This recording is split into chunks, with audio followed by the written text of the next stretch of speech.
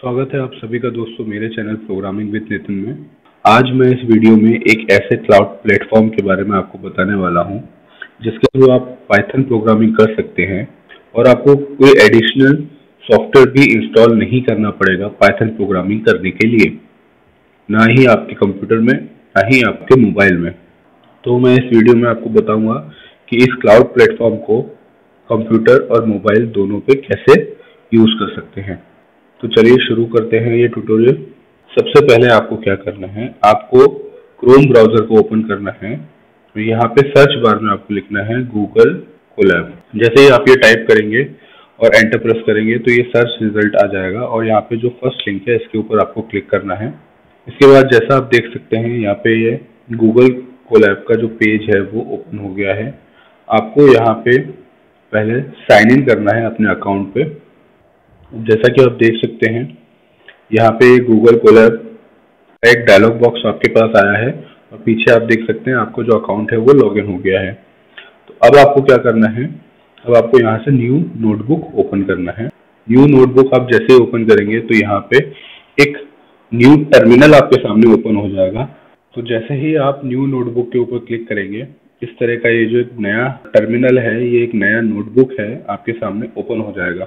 अब आप देख सकते हैं कि यहाँ पे हर दो तीन सेकंड के ऊपर आपको लिख के आएगा ऑल चेंजेस सेव्ड इसका मतलब ये जो सारी चीज़ें हैं, ये आपके ड्राइव के ऊपर सेव होती जा रही हैं और ये जो गूगल कोलैब है, ये ड्राइव के ऊपर आपकी सारी चीज़ों को सेव करता जा रहा है। इसका मतलब आप इसको कहीं से भी एक्सेस कर सकते हैं जब भी चाहें। और क्योंकि ये क्लाउड प्लेटफॉर्म के ऊपर यूज़ हो रहा है, आपके गूगल ड्राइव से यूज़ हो रहा है तो इसको आप मोबाइल से भी सिंक्रोनाइज कर सकते हैं। अभी मैं आपको मोबाइल से भी बताऊँगा कि आप इसको कैसे एक्सेस कर सकते हैं। तो ये सिंक्रोनाइज मोड में आपका वर्क करता है तो आप इसको किसी भी सिस्टम से किसी भी मोबाइल से एक्सेस कर सकते हैं। और सबसे बढ़िया चीज़ ये है इसकी कि आप इसको किसी भी प्लेस से एक्सेस कर सकते हैं। इसका मतलब अगर आप ये जो प्रोग्रामिंग है आपके घर के कंप्यूटर पे कर रहे हो अगर आप इसको ऑफ़िस के कंप्यूटर से यूज़ करना चाहते हैं तो आप इसको ईजिली यूज़ कर सकते हैं।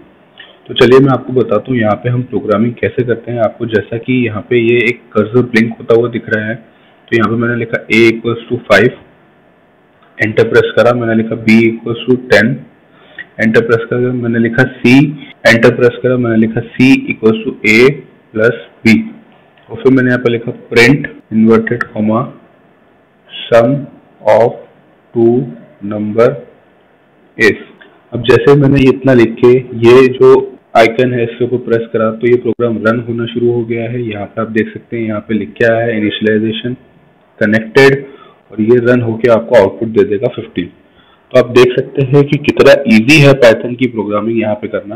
और बिना किसी एडिशन सॉफ्टवेयर को इंस्टॉल करे, बिना किसी आईडी को इंस्टॉल करे, आप क्लाउड प्लेटफॉर्म पे प्रोग्रामिंग कर रहे हैं और यहाँ पे पाइथन की किसी भी तरह की प्रोग्रामिंग जो है वो आप कर सकते हैं। तो मैं तीनों का टाइप प्रिंट करवाऊँगा। तो जो प्रोग्रामिंग आप यूज़ करते हैं। पाइथन के लिए वही सेम प्रोग्रामिंग आप यहाँ पे भी यूज़ करनी है।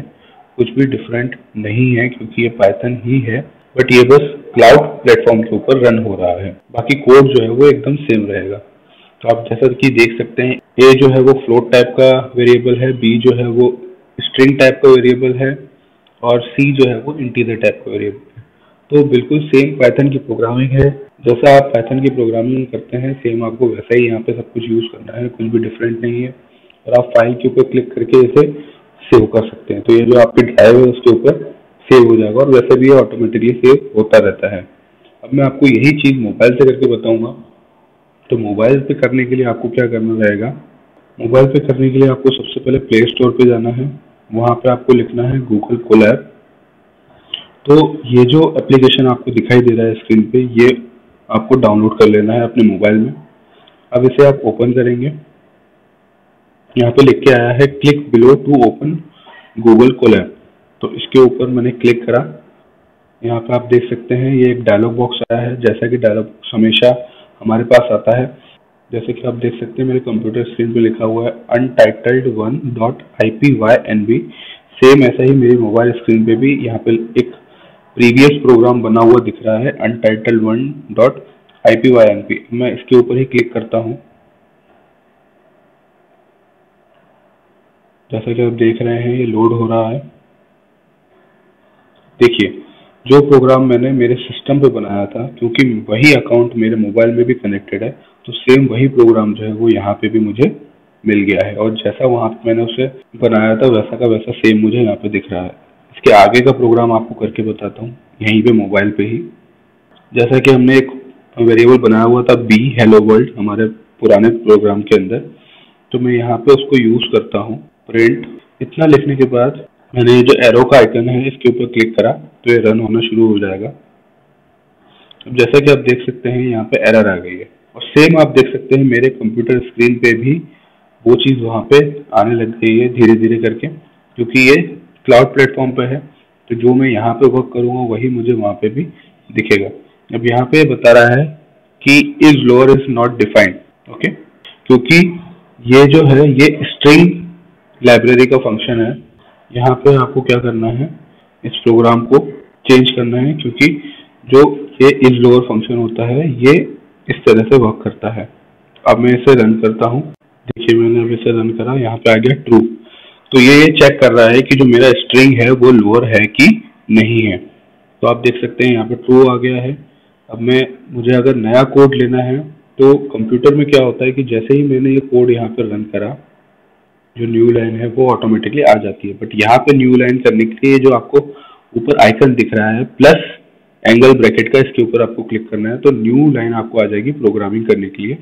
अब मैं यहाँ पे वापस से ही वो फ़ंक्शन यूज़ करता हूँ। Print B dot is upper ये मैंने दूसरा फ़ंक्शन यूज़ करा है और मैं अब इसे रन करता हूँ। तो यहाँ पे देखिए, ये फॉल्स आ गया। तो आप देख सकते हैं कि यहाँ पे आप पाइथन की प्रोग्रामिंग कर सकते हैं। जैसी पाइथन की प्रोग्रामिंग होती है, वैसी और अब अगर मैं इसे सेव करता हूँ आप देखिए मैं इसे सेव करता हूँ जैसे मैं ये जो तीन बार्स आपको दिख रहे हैं, इसके ऊपर क्लिक करता हूँ और फ़ाइल के अंदर जाता हूँ और यहाँ पे इसे सेव कर देता हूँ। देखिए यहाँ पे लिखे आ रहा है सेविंग सेव्ड सक्सेसफुली अब मैं इसे यहाँ से रिफ्रेश करता हूँ मेरे ब्राउज़र से कंप्यूटर के ब्राउज़र से। देखिए यहाँ पे ये सारा जो है वो सेव करा हुआ मुझे मिल गया है।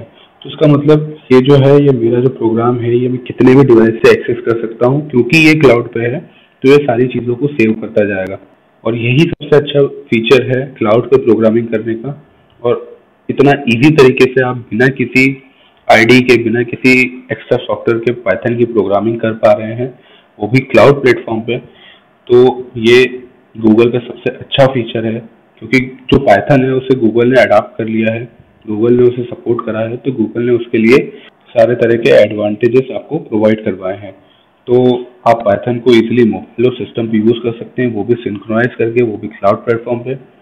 तो आप लोग इस चीज़ को ज़रूर ट्राई करके देखिए। ट्राई करने के बाद अगर आपको लगता है कि आप जो पाइथन यूज़ करना चाहते थे अपने मोबाइल में, अपने कंप्यूटर में इजी वे में वो आप कर पा रहे हैं तो मेरे इस वीडियो को ज़रूर लाइक करिए, इसे शेयर करिए, मेरे चैनल को सब्सक्राइब करिए और दूसरे लोगों तक भी इस वीडियो को पहुंचाइए जिन्हें इसकी ज़रूरत है, ताकि वो लोग भी इस वीडियो से कुछ सीख सकें और ये वीडियो उनके भी काम आ सके। तो आज के वीडियो में बस इतना ही दोस्तों। फिर मिलेंगे एक नई वीडियो के साथ में नए ट्यूटोरियल के साथ में। तब तक के लिए धन्यवाद stay safe stay at home